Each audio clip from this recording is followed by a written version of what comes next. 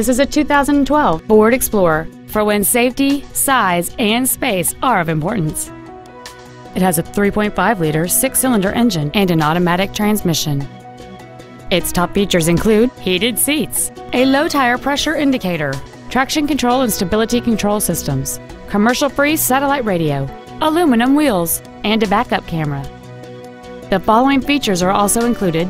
Adjustable driver pedals, memory settings for the driver's seat's positions, so you can recall your favorite position with the push of one button, cruise control, a premium sound system, leather seats, performance tires, a rear spoiler, an anti lock braking system, air conditioning with automatic climate control, and an anti theft protection system.